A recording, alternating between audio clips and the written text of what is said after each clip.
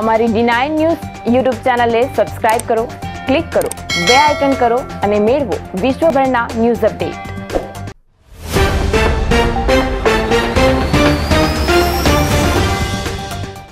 અમરેલી જિલ્લાના ધારી તાલુકાનું બોડી ગામ વાવાઝોડું વીત્યાને દોઢેક મહિનો વીત્યા બાદ પણ તંત્ર દ્વારા ત્રણ ત્રણ વાર સર્વે કરવામાં આવ્યું. છતાં પણ કેશડોલ કે મકાનો પડી ગયા તેની સહાય મળી જ નથી. જેથી બોડીના સ્થાનિકો દ્વારા રોષ વ્યક્ત કરવામાં આવ્યો હતો. આજે અમરેલી જિલ્લાના ધારી તાલુકાનું બોડી ગામ. બોડી ગામમાં વાવાઝોડા વખતે અનેક મકાનો ધરાશય થયા હતા અને હાલ દોઢેક મહિનો વીત્યો. ત્યારબાદ પણ આ મકાનોની સ્થિતિ એમની એમ જ હોય. ત્યારે સ્થાનિકોમાં સરકારી બાબુઓ અને રાજકીય નેતાઓ પ્રત્યે ભારોભાર રોષ ઉત્પન્ન થયો છે. ગામમાં નેવું જેટલા ગરીબોના મકાનોને નુકસાન થયું. ત્યારે સર્વેવાળી ટીમ દ્વારા ફક્ત એક જ વ્યક્તિને કેશડોલ મળી હતી. જ્યારે મકાનોના નુકસાનવાળા એક પણ વ્યક્તિને આજ દિવસ સુધી સહાયના નામે લોલીપોપ જ આપવામાં આવ્યો છે, જેનો સ્થાનિકોમાં ભારે રોષ જોવા મળી રહ્યો છે. વાવાઝોડું આવ્યું ત્યાર પછીનો કોઈ રાજકારણ કે કોઈ વ્યક્તિ અમારે તપાસ કરવા અહીંયા આવ્યું નથી. આ બધા લોકોના મકાન પડી ગયા છે. આ બધા અવર સ્થળાને ત્રણ વખત તો સર્વે કરી ગયા એ લોકો. પણ કોઈને મળવા પાત્ર જે લોકો હતા એને કોઈને કાંઈ સહાય મળી નથી. અંદાજે કેટલાક મકાનની નુકસાની શું કહીશું? સાઠથી સિત્તેર મકાન પડી ગયેલા છે. આવ ધરાશય થયેલા. એ લોકોને કાંઈ એક રૂપિયાની સહાય મળેલી નથી. વાવાઝોડાની આફતની વિદ્યાના આટલા બધા દિવસો વીતી ગયા. છતાં પણ તેમની સહાય નથી મળી. ત્યારે નેતાઓ બોડી ગામમાં આવીને ચાલ્યા જાય છે. પણ ગામની પરિસ્થિતિનો ખ્યાલ હોવા છતાં દરકાર પણ લીધી નથી. જેથી બોડીના સરપંચ વસવસો વ્યક્ત કરી રહ્યા છે.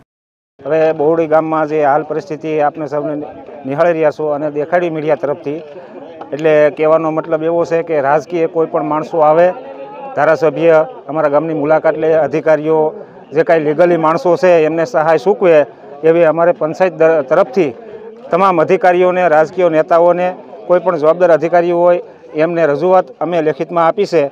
તો અમારું શાંતિપૂર્વક અમને આની સહાય ગરીબ માણસોને જે મળવાપાત્ર છે તે મળે એવી અમારે સરકાર સરકારને અપીલ છે.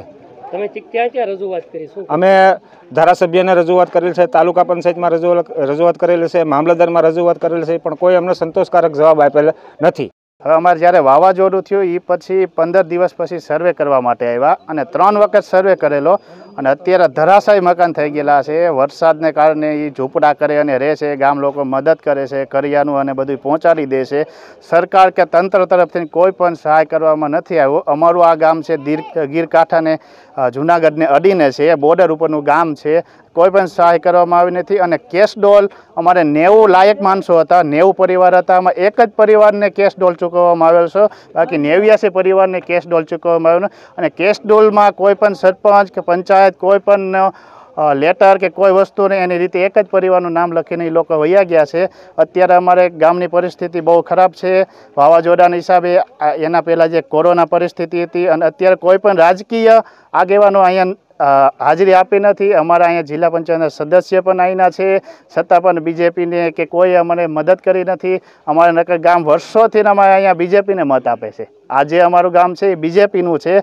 પણ બીજેપીવાળા એક પણ નેતાઓ અહીંયા આવ્યા નથી. તમે ફોન કરો તો કે હા, થઈ જશે થઈ જશે, એવો જવાબ આપે છે. એક પણ મુલાકાત નથી કીધી. ગામની અંદરથી ત્રણ વખત અહીંથી નીકળે છે, પણ ગામને એવું પૂછતા નથી જતા કે તમારે શું પ્રશ્ન છે, શું છે? અને અત્યારે ખૂબ પરિસ્થિતિ ખરાબ છે. કરિયાણાની કે વાવાઝોડામાં, આ ઝૂંપડામાં જે લોકો રહે છે ને ગામ પરિવાર એને પૂરું પાડે છે. અને આગામી સમયમાં અમે એવું કહેવાય, ત્રણ દિવસની અંદર જો કાંઈ આનો સોલ્યુશન નહીં આવે, તો અમે આખે આખું ગામ ઉપવાસ આંદોલન માટે ગાંધીના માર્ગે અમે તાલુકા પંચાયતે જવાના છીએ.